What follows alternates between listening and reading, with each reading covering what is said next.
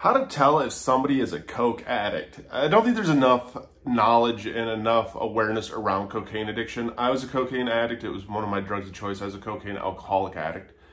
And you don't really pick up or sometimes think that cocaine is as powerful and strong of a drug as it really is. It's almost more acceptable. I mean, it's cocaine is way more acceptable by society standards than heroin or meth or any of these other drugs out there. Uh, I don't know why that is. I don't know if it has so much to do with what you know the media portrays it as or, or what Hollywood portrays it as. But cocaine to me was a devastating drug. And one of the things is if you are addicted to cocaine, it's not like a heroin addict where you see track marks. It's not like a meth addict where you see all the picking and the scabs, you see the missing teeth. When it comes to cocaine, it's really knowing that somebody's an addict is actually hard to pick up on. Uh, some of the signs if somebody is really a cocaine addict, one, they're going to be spending a lot of money. They're probably always going to be kind of broke or they're going to be always looking for money. They're going to be looking for quick money too because you want to get that high back. If you see a massive boost in their confidence, that's another sign that somebody can be a coke addict. And now don't get me wrong, it's not to diagnose anybody or be like, hey, look at them. But when it's a combination of a lot of these, it really means that this person has done something that's altering their life right now. And cocaine gives you this huge ego boost. It gives you this almost like the superpower feeling inside that you're unstoppable, that you're cool.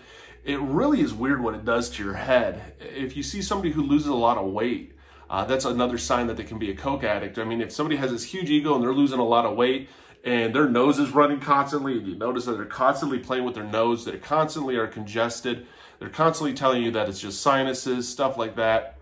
Those are usually the subtle signs that somebody's a coke addict. The hard thing when it comes to cocaine addiction is there's nothing big that stands out that says, hey, this person's addicted to cocaine. Uh, if somebody constantly talks about cocaine, though, that again is a sign that they might be a, a user of it, they might be addicted to it. Uh, if you notice their mood fluctuations, if, if they're constantly bringing up, hey, let's go get some cocaine, when it comes to partying, it's always about cocaine. You'll notice that all of a sudden cocaine becomes something that's kind of on the forefront of their brain. Uh, they make a lot more jokes about it.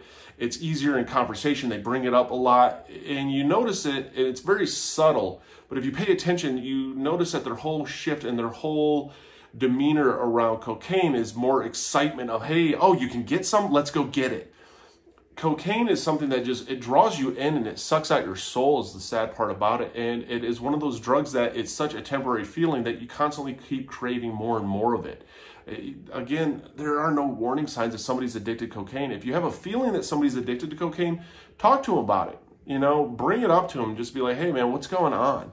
The more real that you are with somebody who's going through any kind of addiction the more likely they are to at least maybe share with you and no one's ever going to get sober unless they decide to get sober for themselves. And the one thing that Coke will do is it will drain their bank account. You'll notice them getting into the point that of money struggles because it starts to affect your work. It, it starts to affect your money.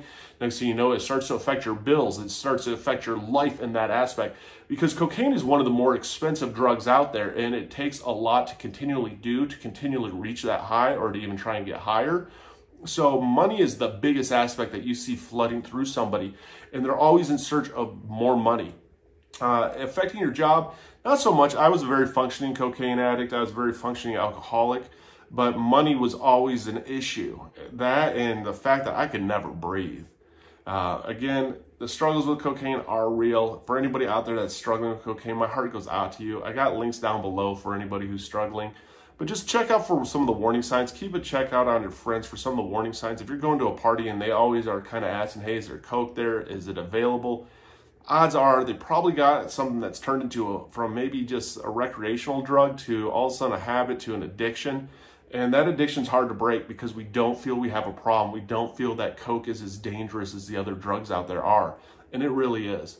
So if you are struggling, then go get some help reach out for help, tell people that you're struggling. Believe me, that high that you get, that temporary high, isn't is isn't as good as just actually living life to the fullest. And I could say that from experience. Click that like and subscribe button. Comment down below. Love to hear your thoughts on it. And just remember that you matter. That you're stronger than the addiction.